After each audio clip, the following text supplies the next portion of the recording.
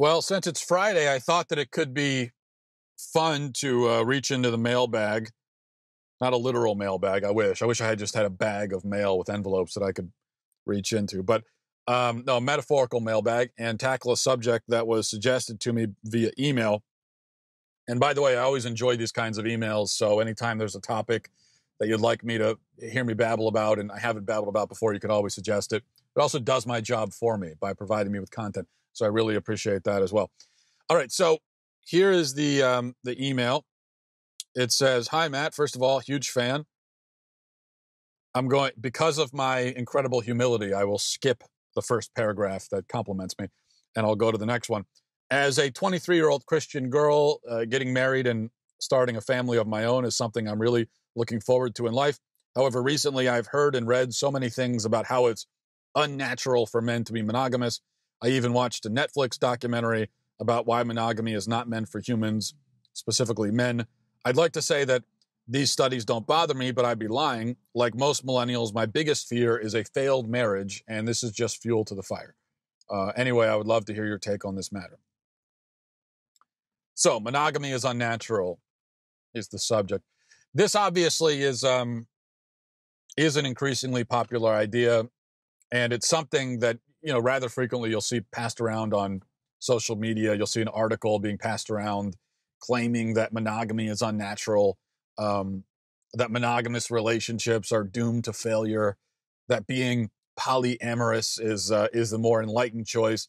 In fact, I saw an article on Facebook recently that I guess was related to a new show on the BBC about a couple who are seeking to save their marriage by having an open relationship, that is, by cheating on each other consensually. And uh, the article is promoting the idea of having an open relationship. So I think the attack on monogamy is often direct. You have people directly saying that monogamy is unnatural, implausible, not feasible. But then, you, you, so you have that kind of attack. But then I think you have the more common sort of attack on monogamy that is implicit and sort of just cultural and environmental, where people in my generation have grown up in an environment um, where that is just hostile to monogamy and and where where if you didn't know any better and you looked around you may reach the inc- the conclusion that monogamy is somehow an impossibility. There there are a lot of people in my generation who were, were growing up as kids they really never encountered a faithful healthy monogamous relationship their own parents were divorced their friends parents were divorced it's just divorce all over the place and so that's how a lot of people were raised. And it's no surprise that a lot of them now, as adults, have decided that, you know, marriage, a, a healthy, stable marriage is impossible. So there's no reason to even try. Now, I think there are a few different aspects of this discussion that need to be tackled, or a few different questions that need to be answered. Number one, is monogamy actually unnatural? Number two, is something like an open marriage um, more natural or even possible logically? And number three, is monogamy possible? So I'll try to tackle these one at a time. Number one, is monogamy unnatural? I think the short answer is yes and no. It depends on what you mean by natural and thus what you mean by unnatural. Now, I think, and, and and the way we talk about things being natural, it's it's very convoluted and confused, and people te- seem to be very inconsistent. Um, in in you know in the times when they'll use this idea of something being natural as a justification for doing it, like we're very selective uh, about that, and I think part of the confusion is that is that the word natural as it pertains to humans can mean one of two things. So when we say natural, we could mean it in the lower sense. That is, it's natural because it's what we instinctively crave. It's natural because it satisfies some base urge that we have.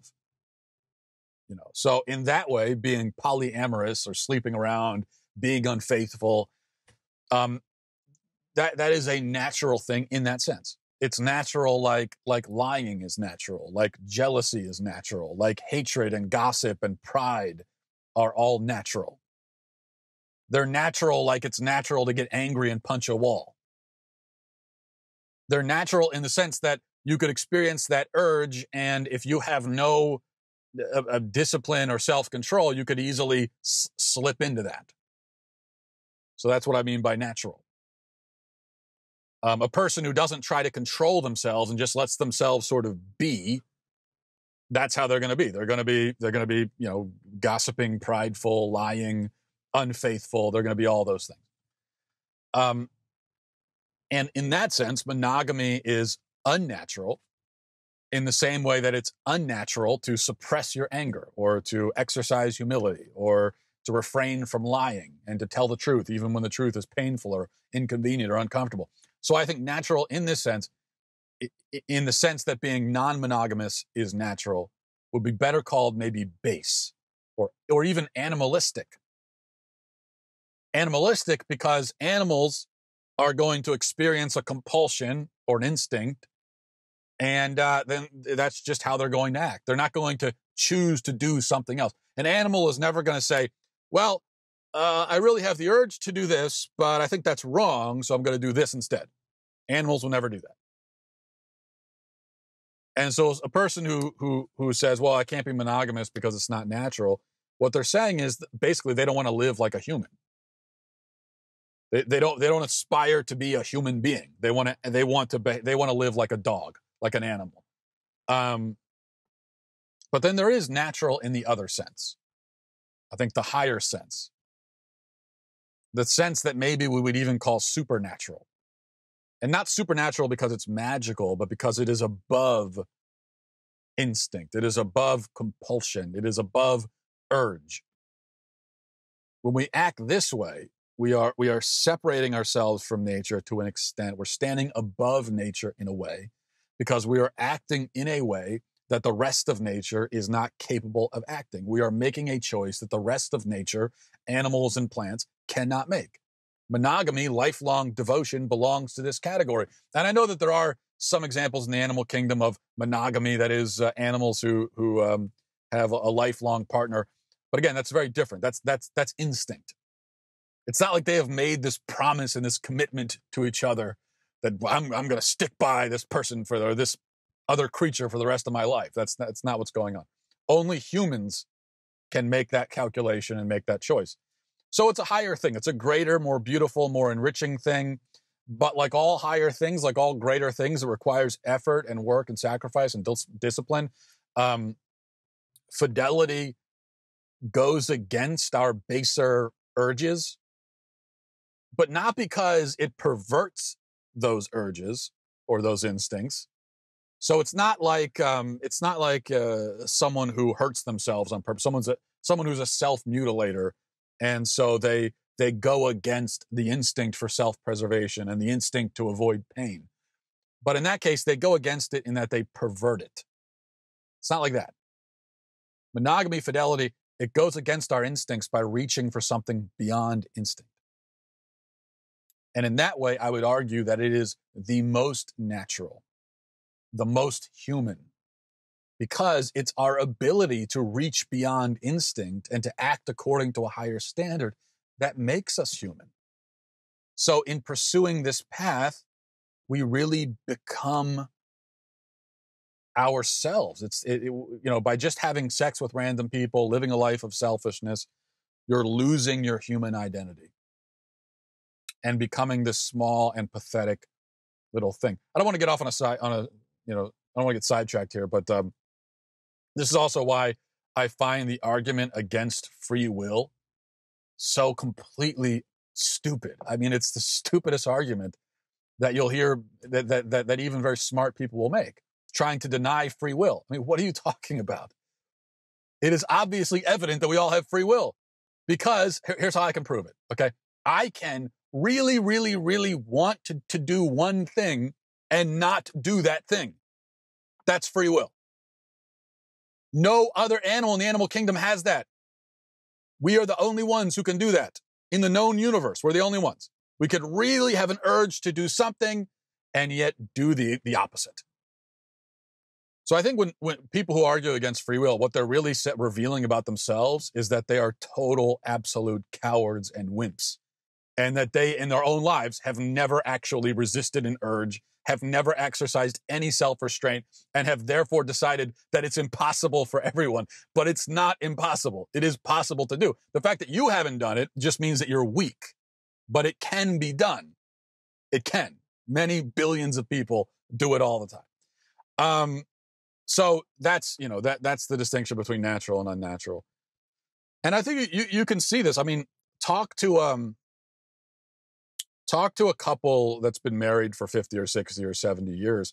I think often what you'll find when you talk to some people like that is that they, you know, it's like they've reached a, a higher mode of existence. You know, you'll, you'll find a certain peace, a certain wisdom, that's grown from a life of love and devotion. And you can contra- contrast that with someone who's older and has gone, um, you know, is also older, uh, like like the like the old married couple. But let's take someone who's who's older and um, and has gone from marriage to marriage, uh, lived a life of self-seeking, of self-involvement, um, uh, never managed to have really a healthy, uh, faithful relationship. And what you'll notice about that kind of person um, is that they've kind of caved in on themselves and they've become like shells. And all that was real and vital and awesomely human about them has been eaten away. And that is what being natural has gotten them. Number two, these days we have the idea um, of an open relationship or an open marriage. And um, this seems to me to be a contradiction in terms. You know, saying open marriage is like saying dry lake or something. Now, a lake might dry out, um, you know, of course, but but once it has dried out, it's not a lake anymore. There's no such thing as a dry lake. It's not a lake. It's just a big hole in the ground. And I think something similar is the case with an open marriage. Now, of course, it's hard to make this case in modern times when people don't recognize that marriage has any particular definition or purpose. And if marriage is just literally any kind of arrangement, if it's just whatever you want it to be, then marriage is nothing. It means nothing. By opening up the definition of something and including all definitions within it, you haven't gained a new definition, you have just lost definition.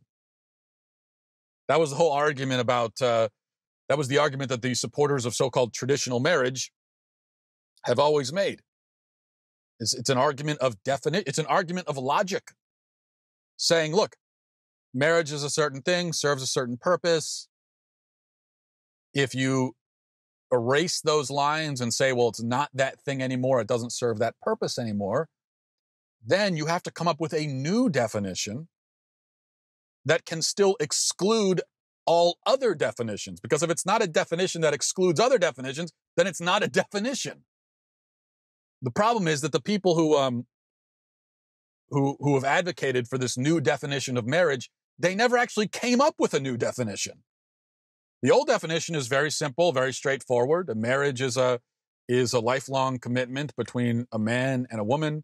Um, it, it, that is a, a lifelong, fruitful commitment between a man and a woman that serves as the foundation for a family. That's what a you know, it's what a marriage. Now you could disagree with that, but at least it is a thing. It, it make you know what that is. It has definition, it has purpose, it has function. Okay. Well, if you're coming in and saying, well, it doesn't need to be lifelong, doesn't need to be monogamous, doesn't need to be fruitful, doesn't need to serve as a foundation of a family, well, then what is it? What in the world is this thing now? It just went from a thing that is, is a thing to a thing that's nothing. Unless you can come up with some new, de- but no one bothered to do that. And so now we just, all we've done is literally gotten rid of marriage, at least in the, in our, in, in a, from a cultural standpoint and from a legal standpoint. Um, but the fact still remains. Even if we don't recognize it as a culture, even if we don't recognize it legally, marriage is still marriage between a man and a woman. And that part is important because one of the primary functions, I said, of a marriage is to serve as the basis for the family. And only a man and a woman can biologically create a family.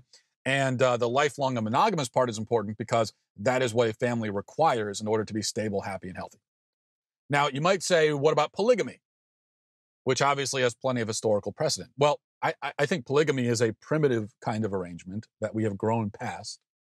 Um, I think also that polygamy could have arguably been necessary in the earlier days, the very early days of human civilization, when human beings had to do quite a lot of reproducing uh, in order to reach stable population numbers. But that's not the case anymore.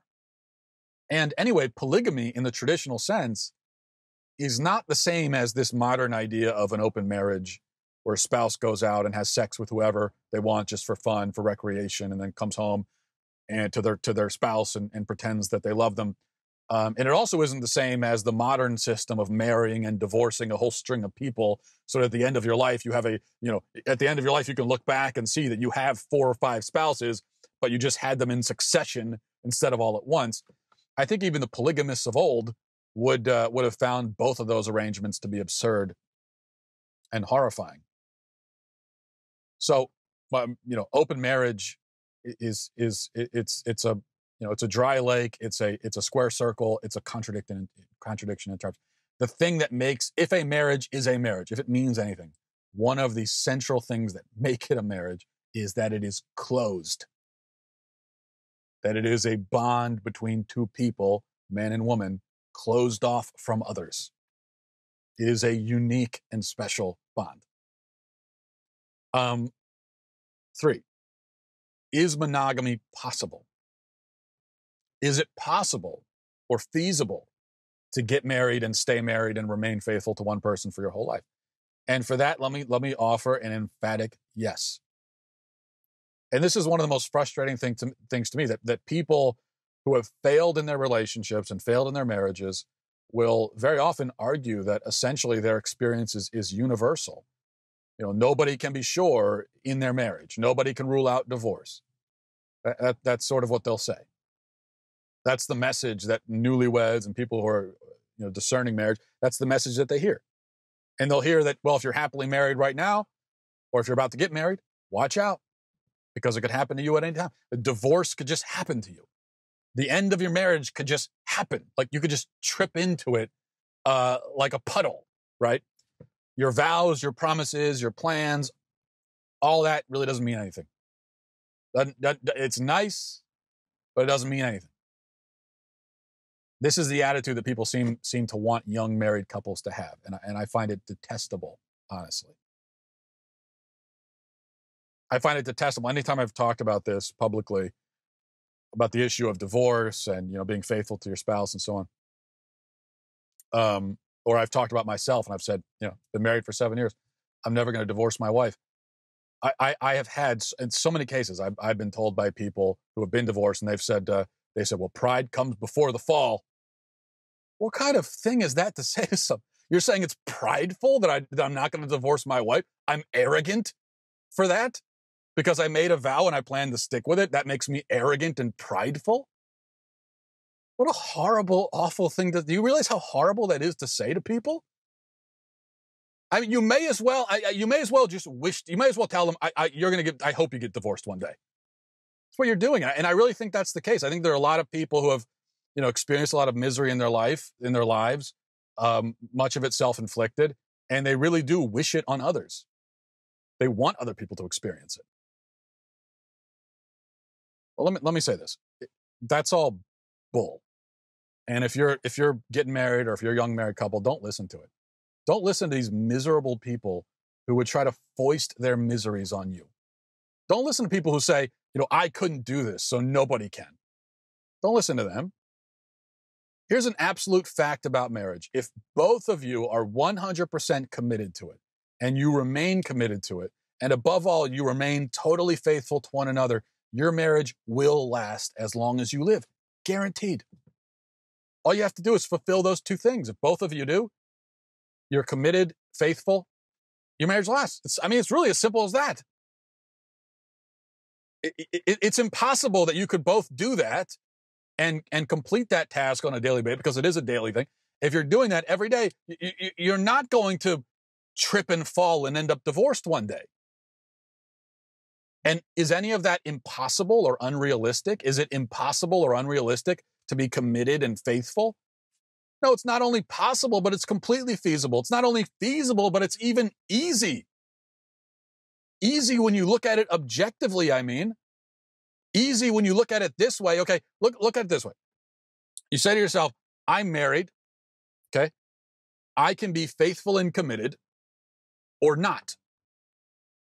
And then and then you you think so this is just you're being objective, right? I have two paths, like faithful committed path and then the unfaithful non-committed path. And then you think about where each path will take you. The faithful and committed path is not only morally correct, but it's also way way easier. I mean, it's difficult in the sense that it requires sacrifice, honesty, work, and so on. But it's easy in that it's much simpler. It's much more peaceful. It's much happier. And you avoid all the complications and dramas and deceits that mark the lives of unfaithful and uncommitted people. Um, you know, in a sense, in a, in a similar sense, you could say it's it's much easier to eat healthy and get exercise and live a healthy life. It's easier. Now, little sacrifices are required to maintain such a life. And in the moment, like when you are choosing to have broccoli and you compare that to the choice to eat ice cream, seems like a harder choice.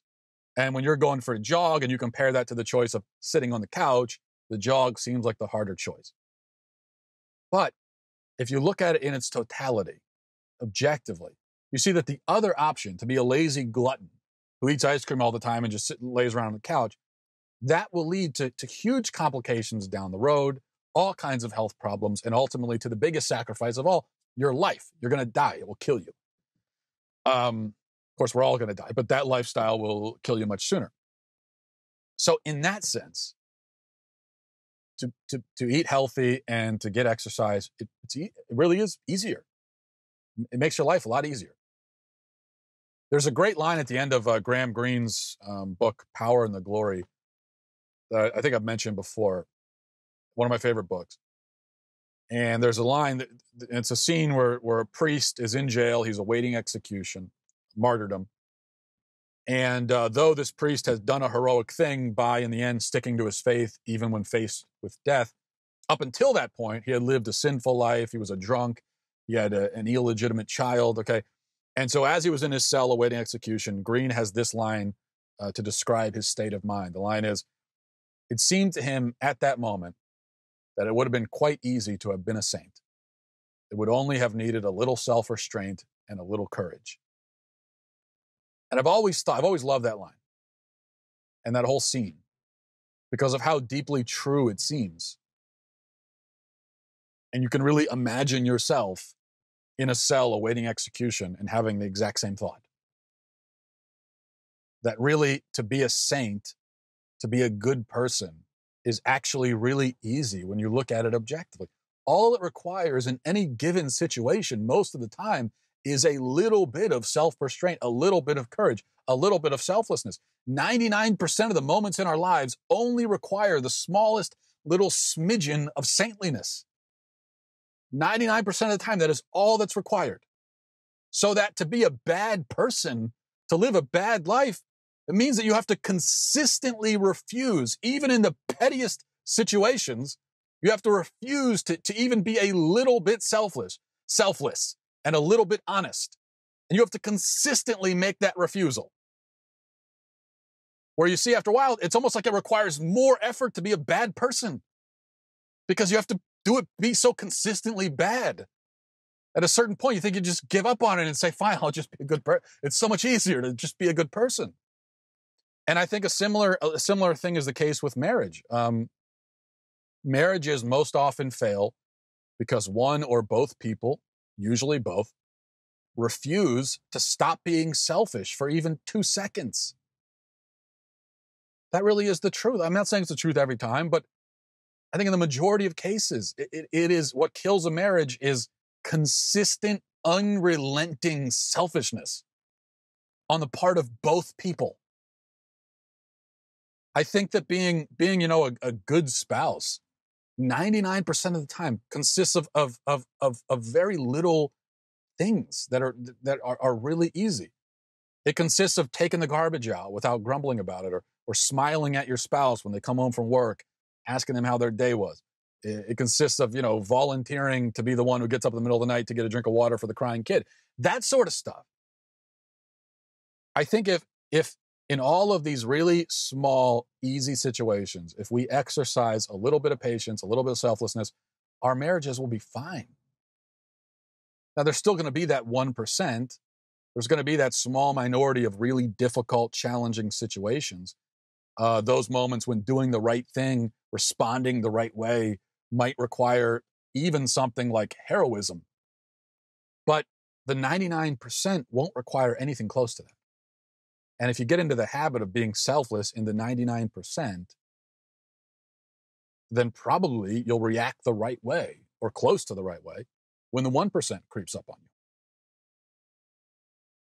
And I think that's the other thing um, that there may be plenty of marriages that appear to have ended because of some cataclysmic thing that occurred or some great challenge that they that that the the, the couple faced um, and it may seem on the outside it may even seem to them that this huge challenge is the thing that um, that destroyed the marriage but i think probably in most cases that's not true i think what you'll find is that it was kind of a that one or both of them had been in the habit uh, for, for a long time leading up to that had been in the habit of selfishness and pettiness and impatience and all of that. And so there'd been this kind of cumulative effect. And then the big thing happens and it's an explosion that blows them apart because they have no stability. They have no strength at all in their in their marriage and in their relationship. And so they don't have the foundations to survive this big challenge.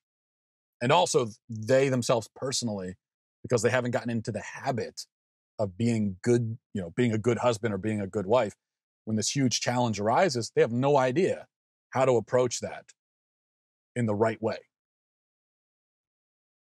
So I think that's that's all that's needed to be monogamous and faithful. And and by the way, I don't I don't say any of this as a person. You know, I've been married for going on seven years, so I'm hardly a marriage expert um, compared to someone who's been married for 30 years. I think I'm still a, a novice and I also certainly have not mastered the art of um, of doing what I would call the easy thing, you know, and and and being selfless and patient in the small situations. I have not at all. I have not. I have not myself mastered the ninety nine percent. Um, but that's part of the reason why I know this. Because so many times, if I, you know, you know, if if I am impatient or if I do the wrong thing in one of these small situations, uh, it, you know, or there's a fight or something like that, I can look back on it later and say, what? I mean, why did I do that? I mean, it would have been so much easier to simply do the, you know, it would have been so much easier to have a little bit of patience or to be a little bit selfless. So that's what I would say to the emailer. Don't don't be afraid of uh, of marriage. Um, don't be afraid of it, but but be uh, be discerning about who you ultimately end up with and uh, and you do absolutely have to go into it yourself completely ruling out the possibility of divorce and knowing that your future spouse has also ruled out the possibility completely ruled it out um, and then at that point you you uh, charge out into the great unknown and see what awaits you all right. Have a great weekend, everybody. Godspeed.